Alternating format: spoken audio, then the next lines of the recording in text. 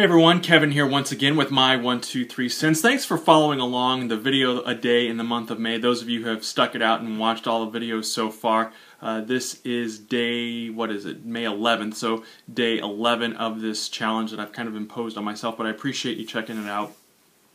Today I want to talk about, though, the, um, the whole idea, the whole concept of the WWE brand extension.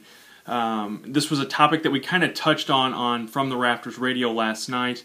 Um, if you want to learn more about From the Rafters Radio, go to uh, my123cents.com and click on the FTR Radio uh, tab at the top, um, or go to aapwrestling.com and do the same thing. But uh, we we touched on it briefly, and it's a, a subject that I've wanted to talk about for quite some time now. So I'm going to spend a few minutes and just kind of give my views and my opinions on that, my one, two, three cents, if you will.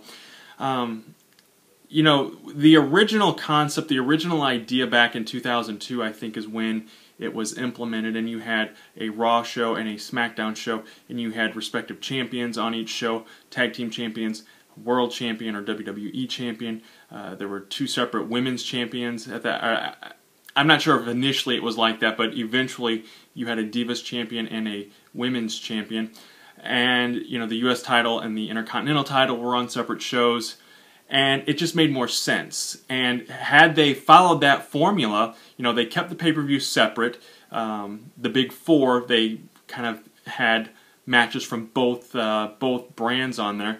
Um, I think to take it a, a step further, I would have almost gone with it where Raw was its own company and SmackDown was its own company, and not intermix anything and keep it as almost as a as a competition and, and keep it competitive. You know, having two different uh, general managers, two different announce teams too. Um, I think would have been would would have been nice to kind of sell that a little bit more for me as a fan.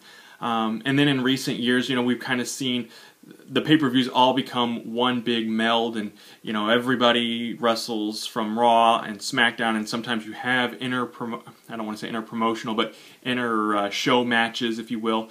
And again it's not a it's not my idea of a brand extension of separating it because I think it would have also made the product a little better because the WWE clearly is lacking that competition as much as TNA wants to be number two, and they are technically, I guess, number two. They're not anywhere near number two, whereas WCW and WWE were going back and forth uh, as far as the competitiveness goes. So now that you know, back in I think it was August or September, Triple H came out and announced the Raw Super Show and the SmackDown Super Show, and they were one and you know stars from each show would be appearing on the other. To me it has rendered the whole concept the whole idea of two separate uh, world champions um, kind of useless. You know why do we have Sheamus and CM Punk both holding I say world title WWE title uh, i.e. world title in this situation? Um, you know they're the two top championship belts in the company um, you know, I think now is the time to make one champion, merge this and and make it one thing because now John Laurinaitis is the general manager of both shows. Michael Cole has been doing commentary and play-by-play on both shows. There's United Tag Team Champ or Unified Tag Team Champions. There's one women's champion now. So go ahead now. Let's just end this whole farce of a brand extension and make one champion.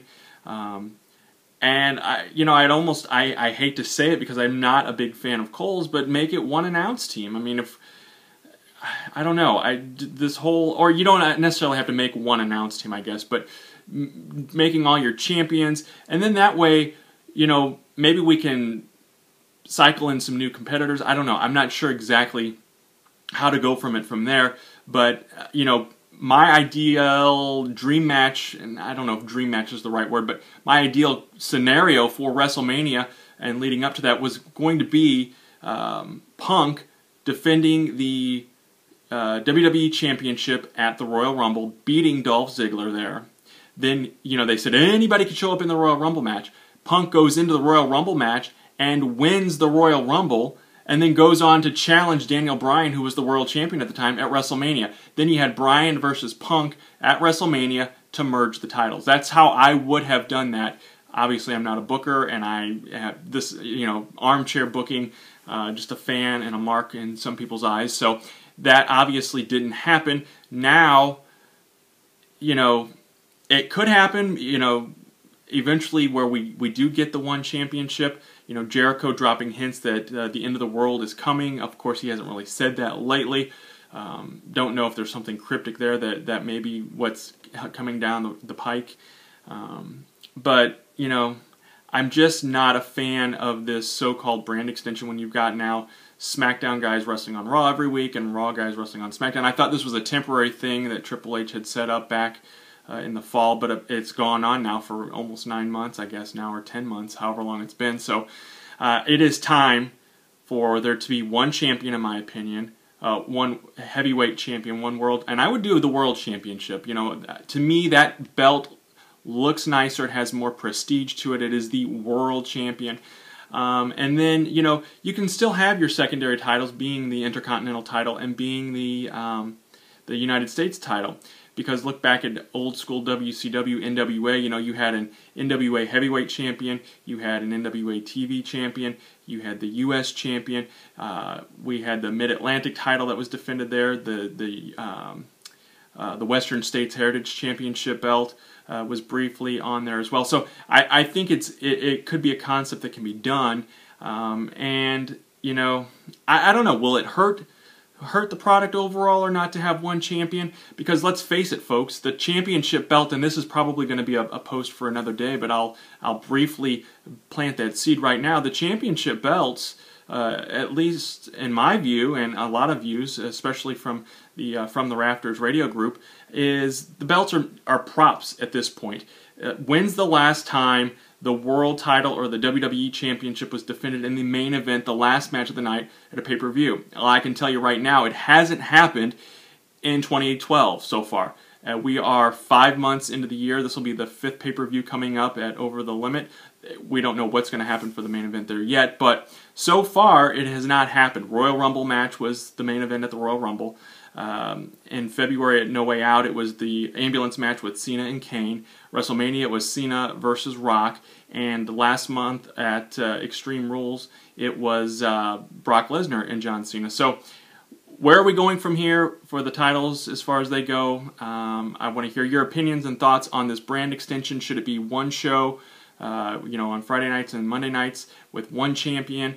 Um, in here. Don't forget to subscribe, and thanks for watching my one two three cents.